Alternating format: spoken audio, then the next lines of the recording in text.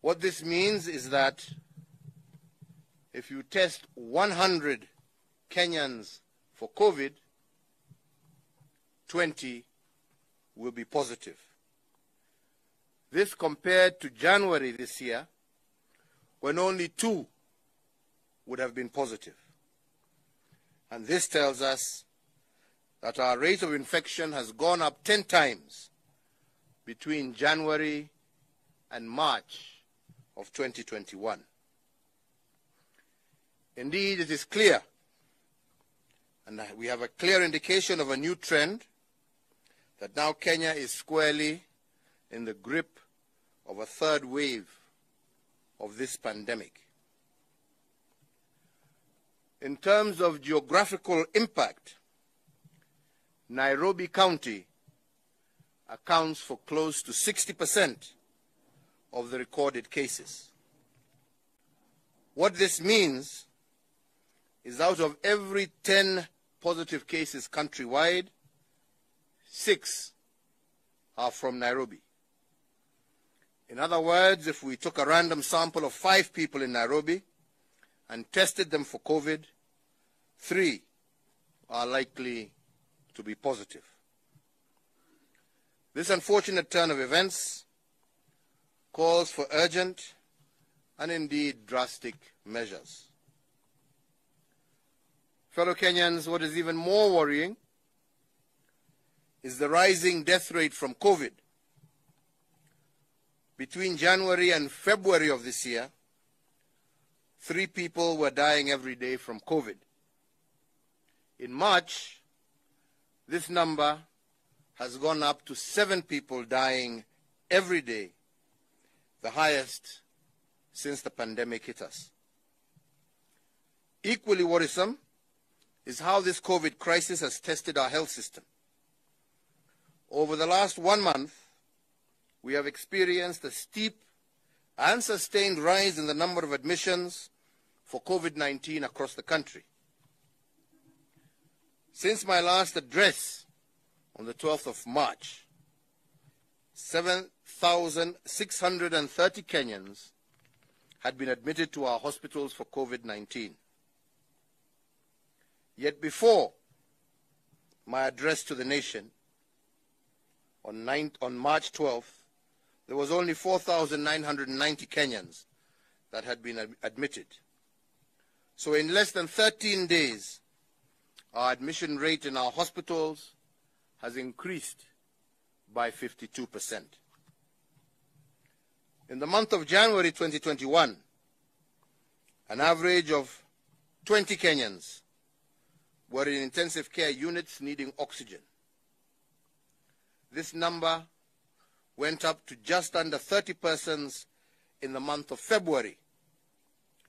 Since my address on the 12th of March, over 950 Kenyans are in ICU wards for COVID-related complications. This confirms the fact that a third wave of COVID-19 is at hand in Kenya.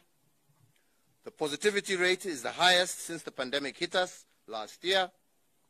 The death rate is devastating by all measures, and the stress that the pandemic is placing on our health system is unparalleled. Indeed, according to our health experts, our third wave began to gain momentum at the beginning of March 2021. This wave is expected to peak in the next 30 days with more than 2,500 to 3,000 cases being reported daily.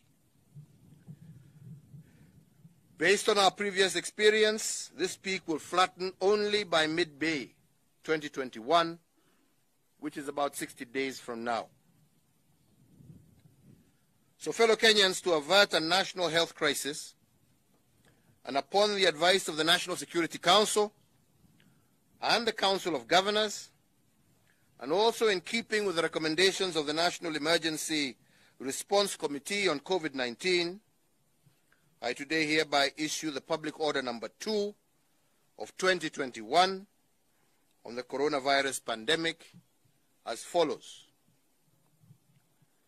Number one, that fully conscious that 70% of Kenya's reported cases of COVID-19 have been recorded in the counties of Nairobi, Kajiado, Machakos, Kiambu, and Nakuru, these counties are individually and collectively declared a disease-infected area.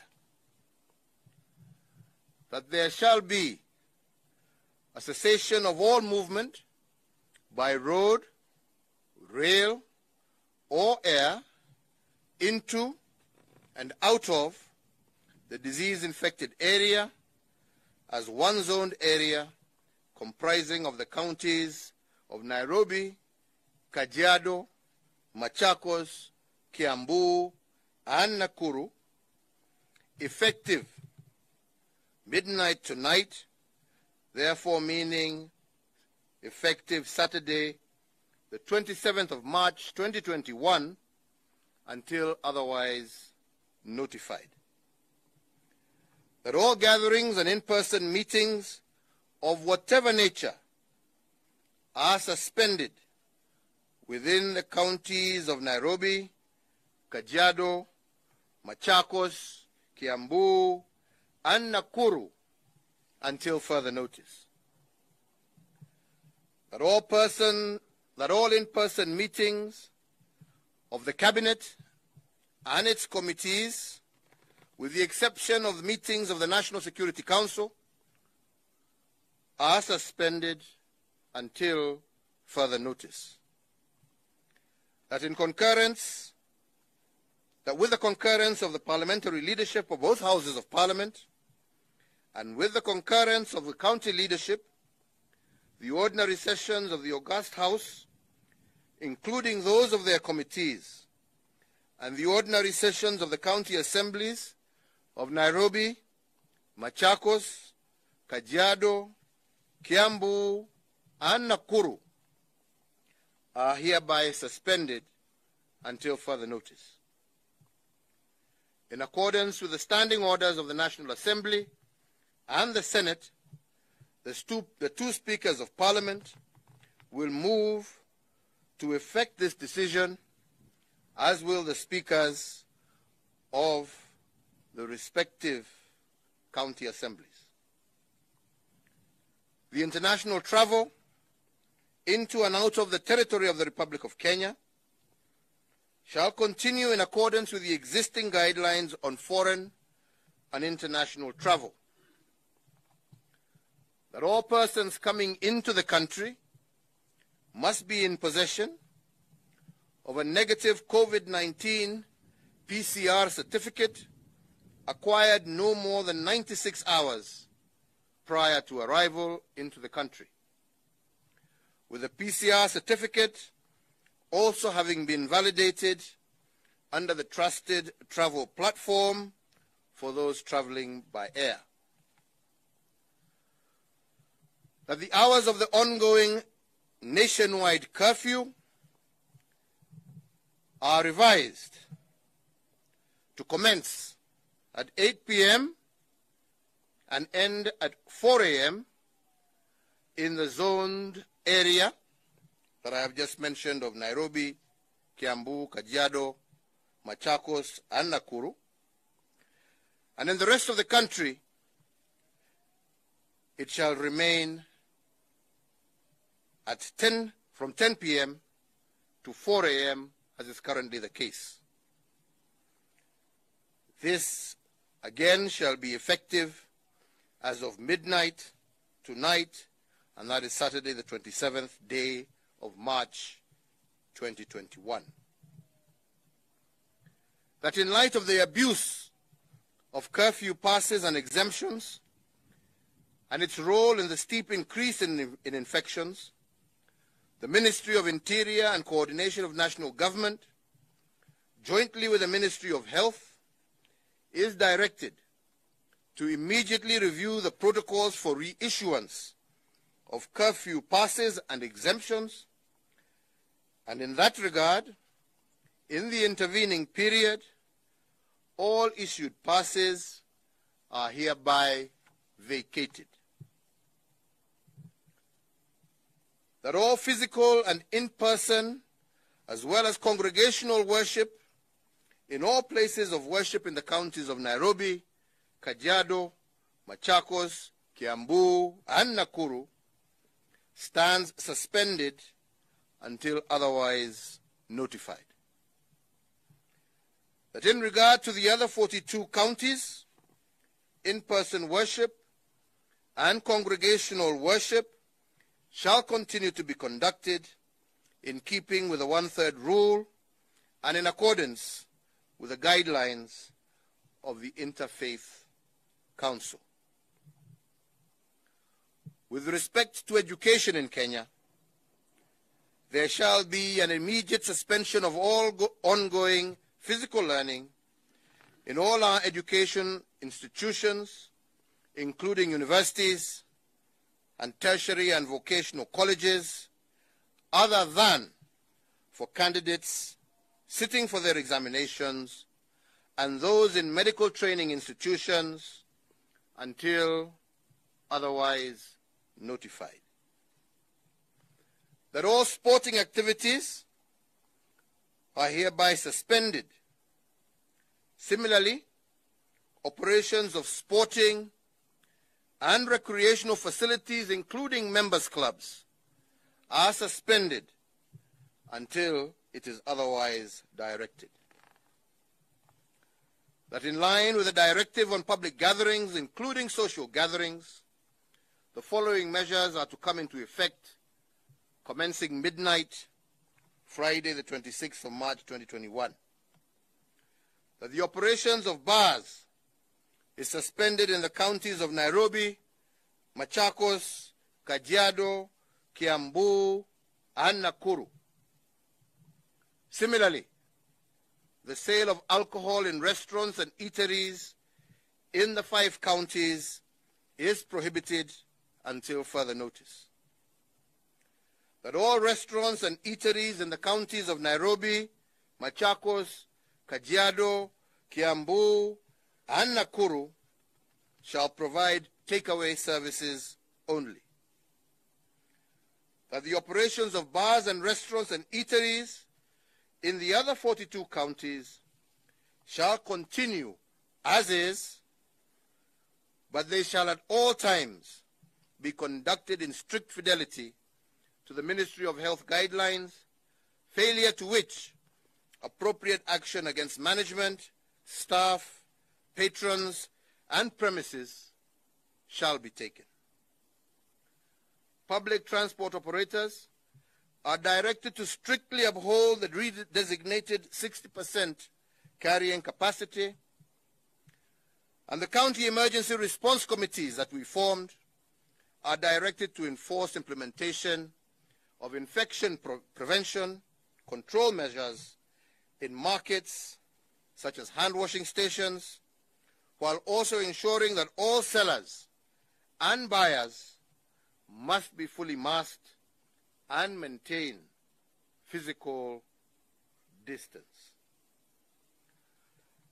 That all employees and enterprises of whatever nature, including public bodies, the private sector, government offices, and others are directed to allow their employees to work from home, with the exception of employees working in critical or essential services that cannot be delivered remotely until further notice. That the judiciary, law enforcement, remand and correctional facilities, as well as the Office of the Director of Public Prosecutions, and other players and stakeholders in the criminal justice and civil justice system are also to take immediate action to eliminate non-essential physical contact or situations within their areas of mandate that may lead to crowding or propagation of the disease. That all hospitals are directed to limit the number of visitors for hospitalized patients to two visitors per patient. That all physical meetings or events, including social gatherings, shall have a cap of no more than 15 persons until further notice. In regard to funerals, cremations, and other interment ceremonies, it is directed that these ceremonies shall be conducted strictly within 72 hours of confirmation of death. That the attendees, officiators, and facilitators of funerals or graveside or cremation ceremonies shall be limited to 50 persons in total.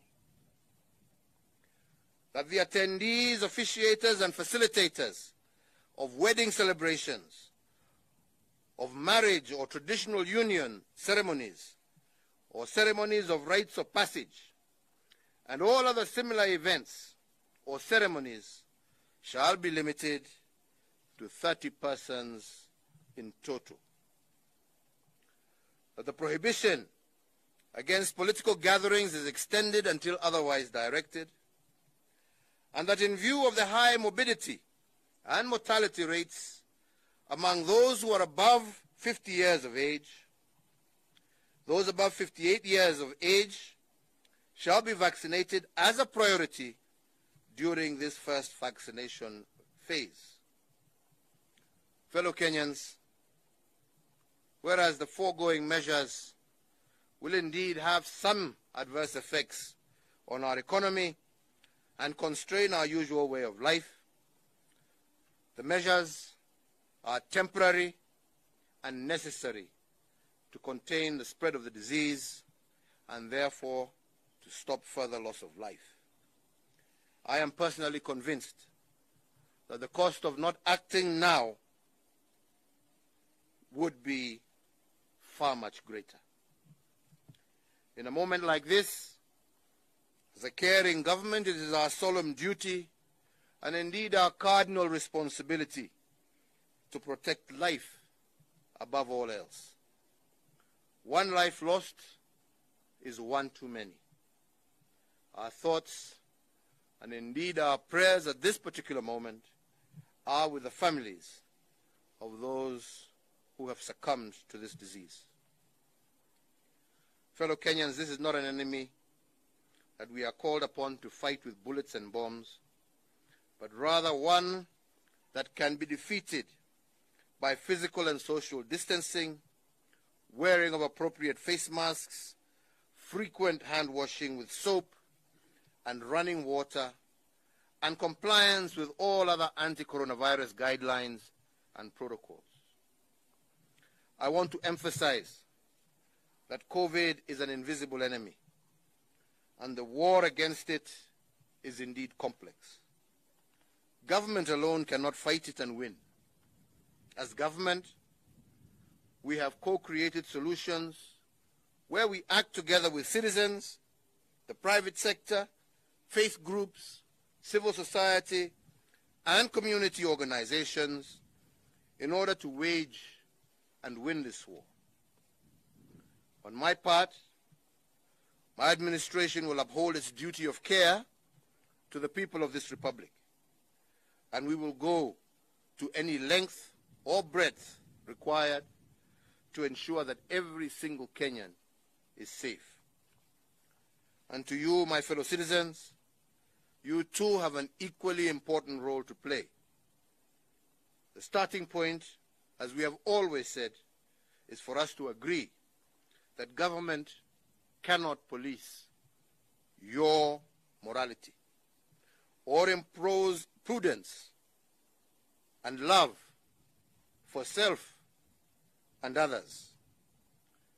Individually, Kenyans must shoulder their role in the fight against COVID-19.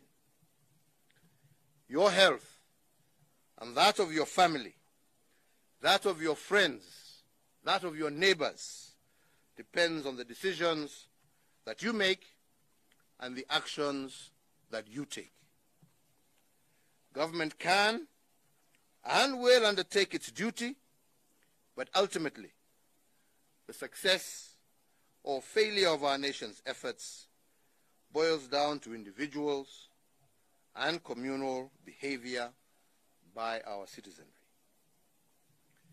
Even as we do so, I today urge all law enforcement officers to live true to their oath of office and to discharge their duties without fear or favor if the government upholds its duty of care to the citizens and Kenyans, one and all must respond by exercising their civic duty.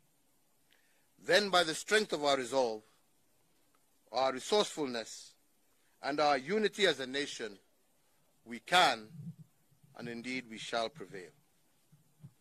I am confident that working together, we as a government, upholding our duty of care to you, our citizens, and you as citizens, responding by exercising your civic responsibility, we will defeat this third wave of COVID like we did before, and we will defeat it because we are all doing our part, and we shall be proud to say that every single individual did their part to the best of their ability. Sitaki niongeze zaidi ya hapo. I think statement ni quite clear, isipokuwa kusema tu wenzangu, na haswa vijana wa taifa la Kenya, huu ugonjwa uko nasi. Huu ugonjwa unaua. Huu ugonjwa, narudia tena, unaua, na najua sana sana kwa vijana wetu ni changamoto kubwa kuona kama umefungiwa na unaambiwa usikaribie marafiki, ndugu, usitembee, usifanye mambo mengine. Lakini kwenu, ombi langu tuvumilie kwa muda huu mfupi, huu ugonjwa utupite, na kwa kuvumilia kwenu mutasaidia na mtaokoa wazazi, marafiki, ndugu na dada zenu, mtaokoa maisha yao. Wenzetu ta, sasa wakati tunaongea, hakuna mtu ambaye hajui moja ama mwingine ambaye amechukuliwa na huu ugonjwa. Kwa hivyo vile nimesema ni ya kwamba kama serikali sisi tutafanya lolote tuwezavyo kuhakikisha ya kwamba tumelinda maisha ya Wakenya, lakini jukumu ile kubwa zaidi itakuwa yenu, wananchi watukufu wa jamhuri hii yetu ya Kenya. Tushirikiane, tukubali kuchanjwa, tusipotoshwe na uongo mwingi, ndio tujiokoe na tuokoe taifa letu la Kenya.